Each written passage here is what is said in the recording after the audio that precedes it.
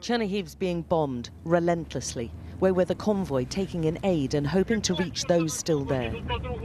This is the last route in or out, and it has to be done fast across an open farmer's field where every vehicle can be a target. The city's surrounded on three sides by Russian troops at this point, and there's a stream of cars ferrying the civilians out of the combat zone. The window to get across the last remaining pedestrian bridge across the Desna River is rapidly closing. But the Russians have spotted this escape route, and minutes after we arrive, they hit it.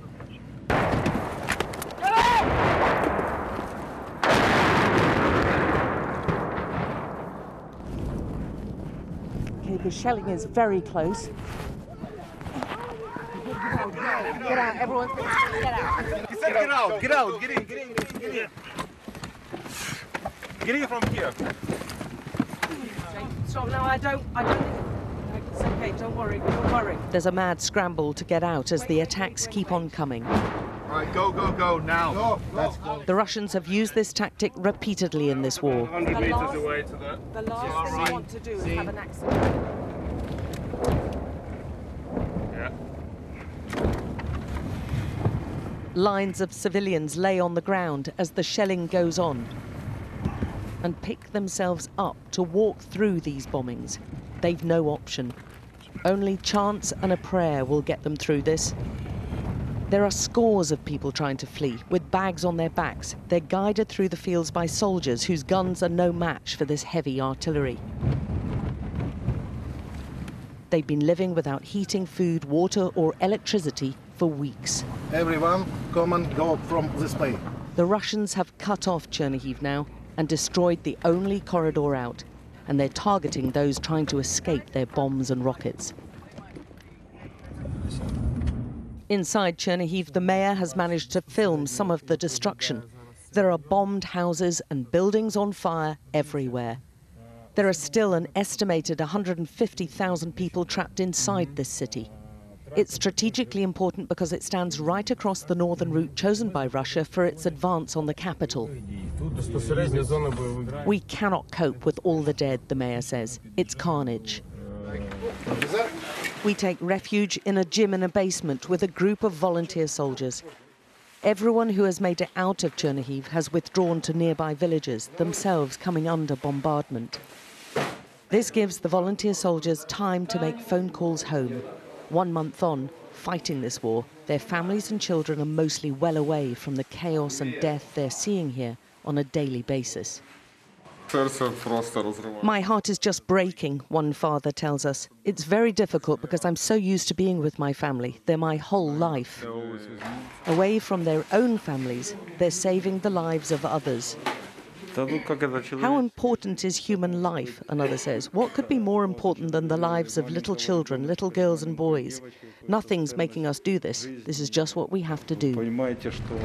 Daybreak the following morning, and they're trying to work out how to get aid into Chernihiv and the civilians out. The last route has closed and is clearly still being targeted. One paramedic asks us for help. He's Yuri, and he tells us the bridge crossing point where he was waiting to help casualties has been shelled 15 minutes earlier. Now he is wounded.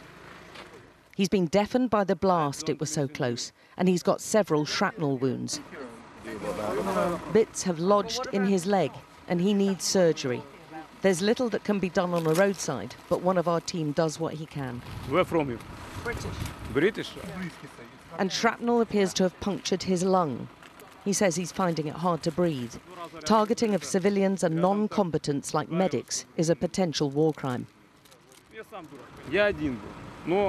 I went there all on my own, Yuri tells us. And I saw destroyed cars, destroyed civilian cars. They were all burned out, they were completely destroyed. And there was one dead civilian with his bags. Okay, guys, good luck. Yeah, good luck to you. He leaves to try to get to a hospital with this parting message for the world. I need our country need your help. Good luck. Nearby, a farmer's field has been littered with the remains of cluster bomb rockets fired from a multiple rocket launcher. We've consulted several independent experts, including the investigative group Bellingcat, who've identified them as cluster munitions.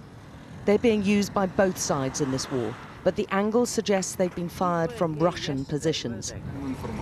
The United Nations is investigating the use of cluster bombs as possible war crimes.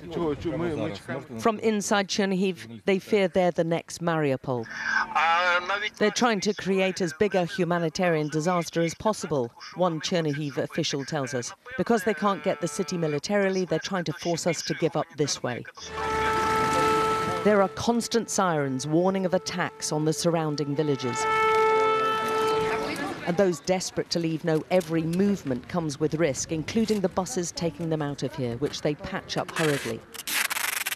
This was hit when it was full of escaping women and children. Chernihiv is really being hit by tank fire, being hit by jets, he tells us. Some people haven't been able to get out for two weeks. Those who've made it out talk of a nightmarish existence. It's hell there. It's hell, this mother tells us.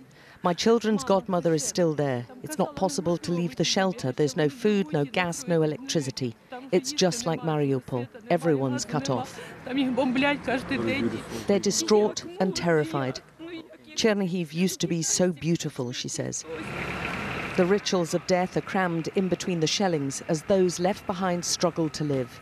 For those here, this isn't real living, it's just surviving. And those trapped in Chernihiv cannot know how much longer they can hold out.